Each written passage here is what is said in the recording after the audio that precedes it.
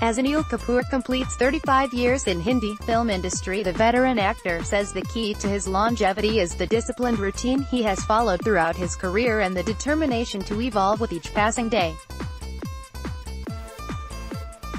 The actor, who started his journey in movies with the South film industry, says being an obedient student of cinema has helped him in staying relevant even after three decades. I think it is a combination of choices that has worked for me like luck, directors and family. At the right time, right scripts and directors came to me and I made right choices and then my family. At home we share a friendly equation, so I don't have to go outside to understand what is working and what is not. There is a pool of talent, with mind of their own in the family. I am a good listener. I listen and observe everything. I am an obedient actor and an obedient student of cinema, Kapoor told PTI in an interview. The 61-year-old actor says he joined films because he was passionate about his craft and it was never his dream to be number one or make a lot of money. When I sleep in the night, I'd only dream of doing different characters. I have never dreamt that I should be the biggest star of the country or have a lot of money. This has never been my aim. I want to make people smile and cry, he adds.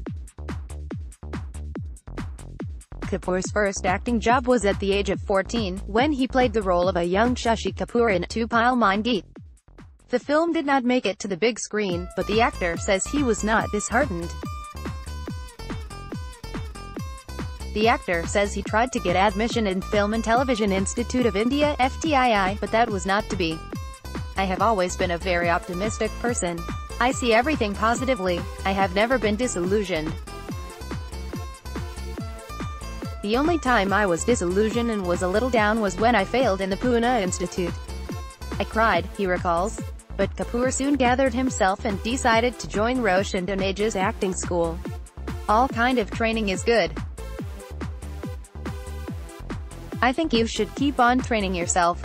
If I get an opportunity to do something now, I will do it. It's my dream to keep doing courses to learn something. When I started my career, I used to keep doing workshops. I had dialect coaches for my films, who would help me improve myself, he says. After making his acting debut with Telugu film, Vamsavruksam, Kapoor starred in few more films down south, including Mani Ratnam's Pallavi Anu Pallavi. His Bollywood journey as a lead started in 1983 with Wo Saat Din, and he became one of the most bankable stars of 90s with films like Mashaal, YUDH, Meri Jung, Karma, Chameli Ki Shaadi, Mr. India, Ramlakhan, and Ladla. The actor says he feels fortunate that his work has managed to leave an impact on the audiences.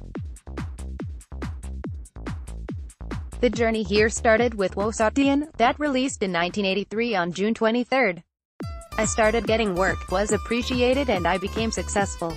As they say tradable, saleable commodity, there were big films, people putting money on me. There are certain things that still connect with the audience like Jhakas, or the popular song IG, Uji, or the film, Mr. India. It feels great that my work has left an impact on the audiences. I feel lucky and fortunate, he says. Even though he was having a great run at the box office with commercial potboilers, Kapoor decided to pick unconventional stories like Parinda, and Ishwar, Virasat Pukar, and Black and White. All these movies have not done well commercially. Certain movies that I have done far out of the box but have not done well. But people do appreciate my work in these movies, and that's fine. I used my stardom to do these kind of roles. I risked my stardom to help producers to sell their films. I have constantly given my stardom, so that I can offer something new and different, he says. Kapoor, who was recently seen in Salman Khan's Race 3, says in future he wants to learn more languages, improve his dialogue delivery and work with new directors.